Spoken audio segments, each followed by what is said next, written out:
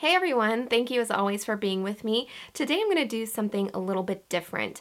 I've never done a challenge video before and so I thought it might be cool to do a no brush makeup challenge. I have in front of me a bunch of makeup but no brushes at all. The only things I'll be using are mascara and pencil. So foundation, eyeshadow, powder, cream, whatever it is, I'm just going to be using my fingers. I haven't tried this before. This is my first time doing a full face only with my hands. So let's hope it turns out well and let's jump right into it.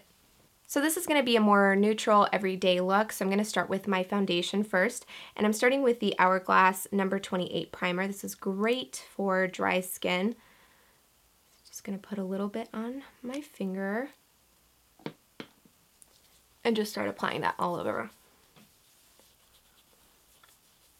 And onto the foundation.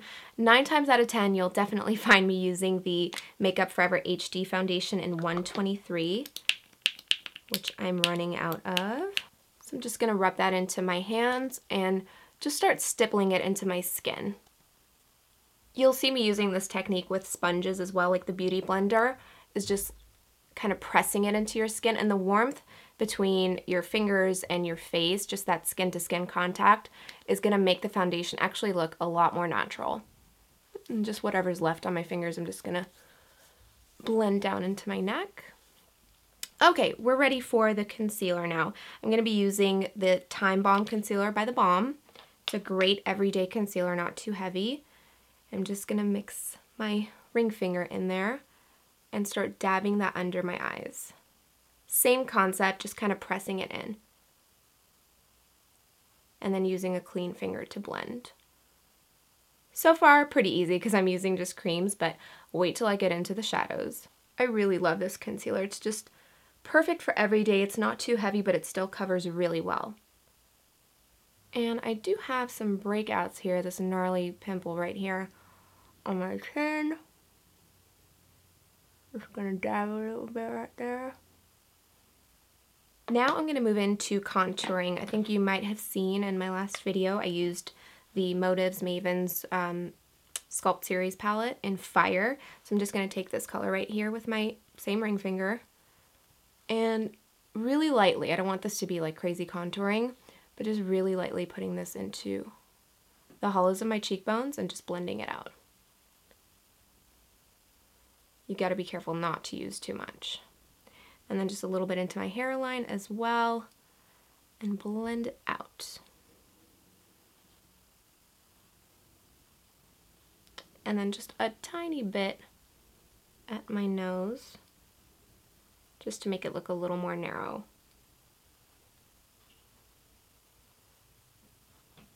Get narrow.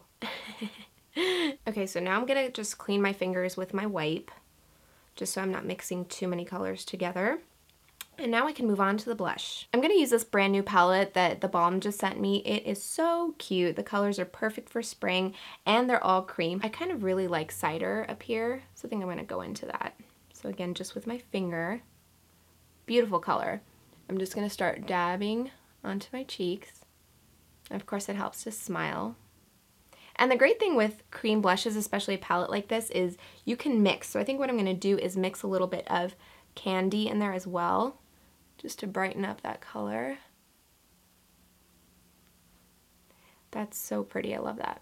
Once again, I'm going to take that makeup remover wipe and just clean my fingers because we're about to get into the eyes. Ooh, one thing I forgot was to uh, set my under eye concealer, so I'm just going to take my NYX blotting powder, and since I've cleaned my fingers with the makeup remover wipe, I'm just going to let it dry really quickly. Okay, now it's dry. So I'm just gonna take my finger. So with this one, you definitely wanna make sure you're only pressing and not swiping. Because that way you're just gonna mix it with the cream and you definitely don't want that. Cool, now we can move on to the eyes. So surprisingly enough, I still haven't used my Sigma Warm Neutrals palette in a video yet. I use it a lot and I love it, but I just haven't done a video using it, so that's exactly what I'm going to do today. I think I want to start with this champagne shade right here. I think it's called Balanced. So again, I guess I'm a fan of the ring finger for application. I'm just going to dip into that and just start patting it onto my lids all the way up to the crease. This is a nice um, neutral kind of shimmery color that actually you can wear on its own. It's really pretty. So then just with a clean finger, just taking care of all the harsh edges. So now I'm definitely going to use some of the darker colors, but just like any makeup look, if I'm going to use dark colors, I want to start with a neutral, usually medium brown shade on the crease first. So which one of these? I think this time I'm going to use this guy here at the bottom corner. It's a nice matte brown color. I'm just going to put that into the outer part of the crease and just swipe it back and forth. Now we can move on to a darker shade and I think I really like this deep plum shade so since I want to use less of it I'm going to use my pinky this time and just dip right in there. Okay. Now I'm just going to start at the very outer corner and pat that in.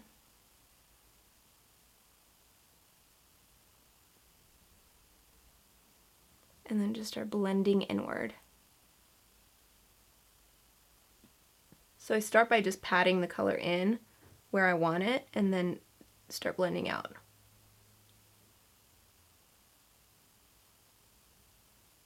A blending brush would really come in handy right now.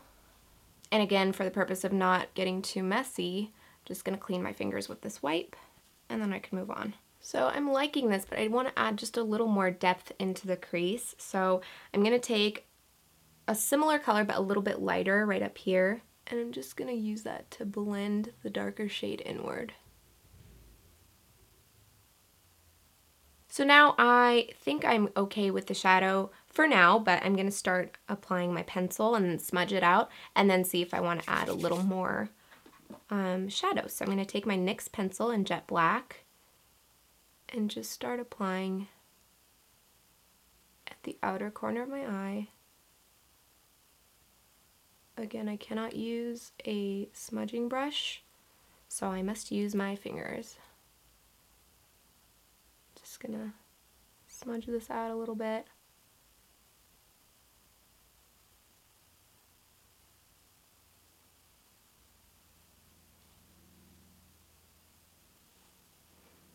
I don't know that that's perfect, but hey, good enough. All right, once again, gotta wipe off the excess product from my fingers. Now I just want to add a little bit of shimmer to this look, not too much because it is an everyday look, but I'm going to be using the em Cosmetics Sparkling Shadow Top Coat and the color is called Celestial Sparkle. It's really, it's not, I mean, unless you're using a lot, it's not that like crazy. So I'm going to take just the very corner of my ring finger and pick it up. You'll see right there. And I'm just gonna dab a little in the center there, dab a little in the center there, a little bit at the inner corners,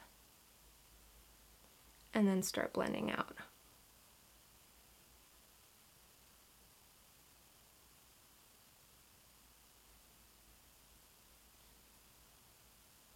I think maybe I want to add just a little bit more smokiness to the bottom. So I'm going to go back to the palette and I think I'm going to dip into this dark brown right here, just with the corner of my pinky. Not taking a lot, just very little. And I'm going to smudge that into my bottom lash line. You really got to use very little of this. Got some of it in my eye, but other than that, not bad. Okay, I think I'm ready for mascara. So I'm going to go for my Eyeko Black Magic Mascara. A little at the bottom. Okay, now I got to do the brows. So I'm going to take my Hourglass Arch Sculpting Brow Pencil. It's two-sided and it's got the best shape for filling in eyebrows. I love this thing. So I'm just going to brush them up and do some light filling, nothing crazy just like to make them appear a little more full and fill in any bald spots because I've got a ton of them.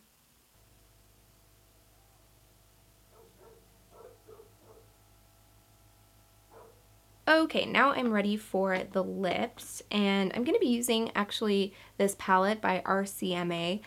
I didn't know about RCMA. It is a predominantly makeup artist line. I don't know about it because I'm not a makeup artist, um, but in the community it's like pretty well known. And they just sent me their stuff to try and their lip palette right here is awesome. I love this. It's very, very pigmented. Um, so I'm going to, let's see, how does my shadow look? I think I'm going to mix these two shades. Kind of a little more of a dusty rose with a more neutral shade.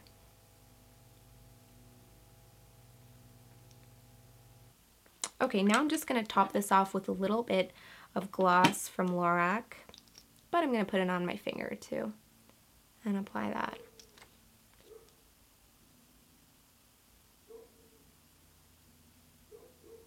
And that is it. I think it looks pretty decent. Uh, maybe a little more blending here and there, but overall pretty good. Um, especially the shadow. I'm a little bit surprised that that turned out as well as it did. But again, this is a way more simple look. It's not anything super complicated. It's not like a cut crease with my fingers, you know? So um, this was fun. I like this. So if you're ever in a bind and you have no brushes with you, um, just know that you can do an entire look just with your fingers. I hope you guys had as much fun watching this as I did making it. If you have other challenge requests, be sure to leave them in the comments and I'll take a look. Love you guys and I'll see you next time.